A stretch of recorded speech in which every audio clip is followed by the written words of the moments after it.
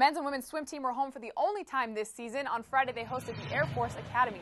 In the first race of the meet, the BYU 200 medley relay team of Candace Smith, Sarah Jane Christiansen, Kirsty Farrell, and Alicia Miller touched first with a time of 144.87.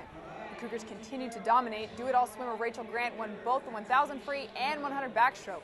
Whitney Hall and Kirsty Farrell both won their respective races for the Cougars.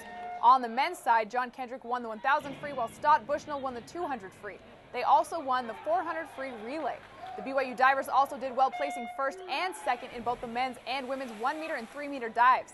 On Saturday, the women's team sealed the regular season conference championship with a win over Wyoming. They are now 7 0 in the conference. The Mountain West Conference championships are February 25th through the 28th in Oklahoma City.